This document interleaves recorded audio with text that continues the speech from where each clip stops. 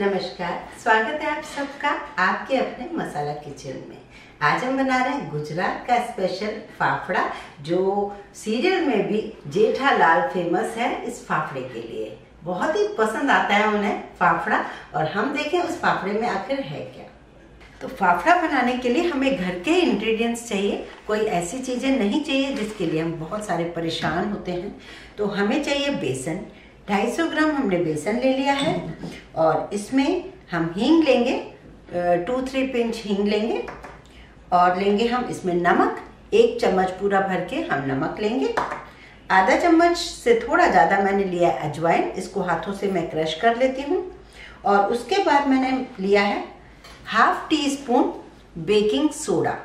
Baking soda, जो मीठा soda के नाम से भी आता है एक्चुअल इसमें वो लोग जो गुजराती डालते हैं, पापड़ खार। लेकिन पापड़ खार के लिए आप लोग परेशान हो रहे हो। मेरे को दो चार व्यूअर्स ने कमेंट्स भी किए कि पापड़ खार मिल नहीं रहा। तो आप बिल्कुल परेशान ना हो, वही रिज़ल्ट आएगा। इसलिए मैं आपको बेकिंग सोडा से सिखा रही हूँ, जो आपको ईजिली मिल जाए। बस, बाकी चाहिए हमें नमक। तो सबसे पहले हम बेसन को बीच में छोटा सा होल बना लेते हैं। बस इसकी ट्रिक है थोड़ी सी मलने की, बाकी कुछ भी नहीं। इस होल में हम डालते हैं पानी।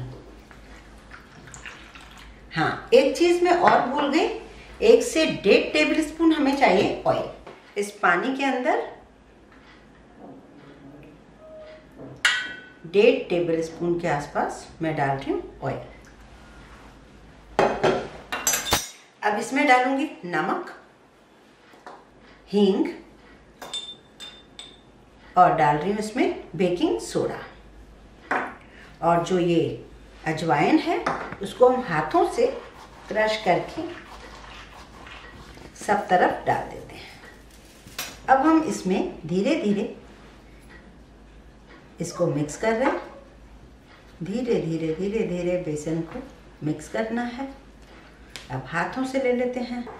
थोड़ा थोड़ा पानी डाल के हमें इसका बहुत टाइट डो बनाना है।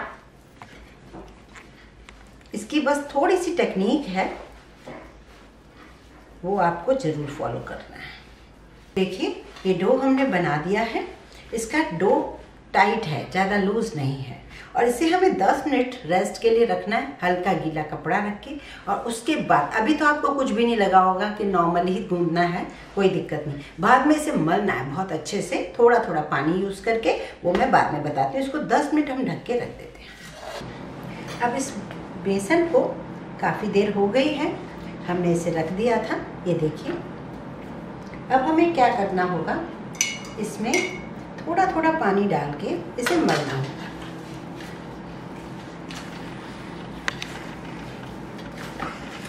करीब दो तीन चम्मच पानी और डल जाएगा और इसे हमें धीरे धीरे इस तरीके से मलना होगा। जितना हम मलेंगे, उतना ही इसका रिज़ल्ट अच्छा आएगा। इसीलिए हमने इसे पहले बहुत टाइट गूंदा था, जिससे बाद में थोड़ा थोड़ा पानी डाल के इसे मलना अब हम स्लो गैस पे कढ़ाई रख देते हैं और इसको हमने अच्छे से आ, मतलब बहुत ज़्यादा सॉफ्ट नहीं किया है बट इसे मलना मलना बहुत ज़रूरी है। ये देखिए कितना प्लेन सा हो गया ये बहुत ज़रूरी है। अब हम यहाँ पर ही बनाएँगे और इसे हम साफ़ कर लेते हैं। या फिर आप चॉपिंग बोर्ड पे भी बना सकते हैं और इसे अगर आप इस तरीके से नहीं बना पाए तो आप पॉलीथीन पे भी बना सकते हैं। इसे बनाने के लिए हमें इस तरीके से लंबे लंबे ऐसे रोल बनाने हैं। और बहुत बड़े भी ना बनाएँ। हम एक्चुअल बहुत बड़े बड़े इसलिए नहीं बनाएँगे, क्योंकि बहुत बड़े तब बना सकते हैं जब हम कढ़ाई बहुत बड़ी बड़ी रखते हैं। ये लोग जो मार्केट में बनते हैं ना, इनकी कढ़ाई बहुत बड़ी, आँच बहुत ज़्यादा। तो ये एक रीज़न होता है। घरों में हम बहुत ज़्यादा तेल को जलाना नहीं पसंद करते, क्योंकि इतना जला हुआ ऑयल फिर हमारा जाएगा कहाँ? तो ये एक कारण होता है मेन तो हम लोग जो नॉर्मल कढ़ाइयों में रखते हैं और इसे हमने रोल कर दिए छोटे छोटे इस तरीके से यहाँ पर आप क्लीन कर दीजिए। आपको चाहिए वो क्या होगा? जो बच्चों की स्केल होती है स्टील वाली, यही वाली ले लीजिए या फिर एक कोई नाइफ ले लीजिए, जो आपको इजी लगे। ये देखिए, ये मैंने लिया। और इससे आप हथेली पे इसको इस तरीके से प्रेस कीजिए। ये देखिए। अभी फिर इसको लेते हैं। इसको इस तरीके से। फिर इसको लेते हैं, इसको इस तरीके से प्रेस करते हैं। फिर इधर लेते हैं, इसे इस तरीके से प्रेस करते हैं। फिर इधर लेते हैं, इसे इस तरीके से प्रेस बस, ये आपको काम करना है। बहुत ही सरल है और आटा आप देखेंगे कि मतलब ये ऐसे दबने वाला चाहिए। बहुत ज़्यादा ऑयल वगैरह कुछ नहीं लगाना, पानी कुछ नहीं लगाना आपको। बस इसी तरीके से आपको बनाना है। और कढ़ाई में हमने ऑयल रख दिया है, वो गर्म हो जाए, फिर हम डाल देते हैं। अब हमें इसे निकालना कैसे है, वो हम बताते हैं। ये देखिए, अब ये स्केल पे हल्का सा आपको ऑयल लेना है और इसे इस तरीके से कढ़ाई में डालते जाना है। मैं अभी आपको और करके दिखाती हूँ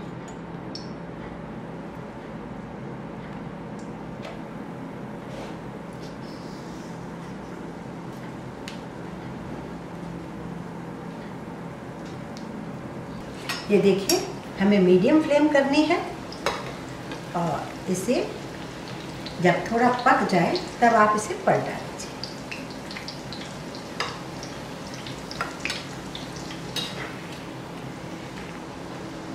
अब हम इन्हें निकाल लेते हैं। गैस स्लो कर देते हैं।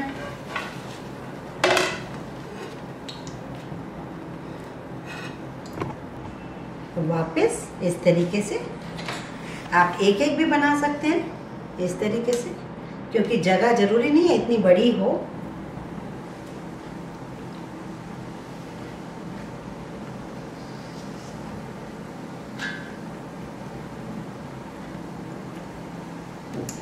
ये देखिए, इस तरीके से आप घरों में बहुत ज़्यादा बड़ी कढ़ाई नहीं होती तो हम लोग नॉर्मल ही बनाएँगे, अपना ऑयल ज़्यादा ख़राब करने की ज़रूरत नहीं है, इस साइज़ के ही बनाएँगे आप।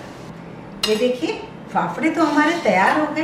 ये देखिए, बहुत ही बढ़िया ऐसे फाफड़े। हालाँकि इसे, इसके लिए खास तरीके की एक बेसन की चटनी होती है और पपीते का एक सैलड टाइप होता है। लेकिन अब त्यौहार का टाइम में मैं भी अभी नहीं बना पा रही, मैं बाद में वो वीडियो कभी बनाऊँगी। इसे हरी चटनी, मीठी चटनी के साथ मैंने एक जगह खाया था, मुझे बड़ा मज़ा आया था। और इसके साथ खास तरीके से हम मिर्ची बनाएँगे और बारीक कटा प्याज मतलब एक एक फाफड़े के ऊपर बारीक कटा प्याज डाल दीजिए, चटनी डालिए और ऊपर से आप मिर्ची रखिए और मज़े से खाइए।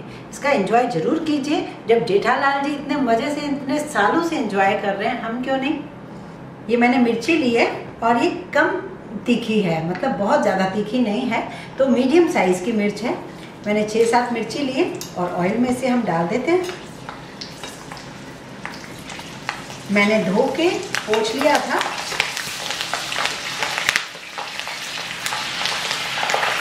आप चाहें तो इसे कम ऑयल में भी बना सकते हैं। मैं तो इसे इसी तरीके से फ्राई कर रही हूँ।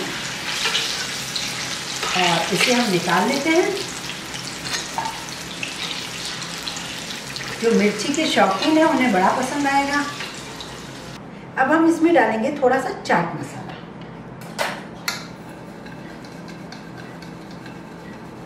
अब ये मिर्ची बहुत ही मज़ेदार बनेगी।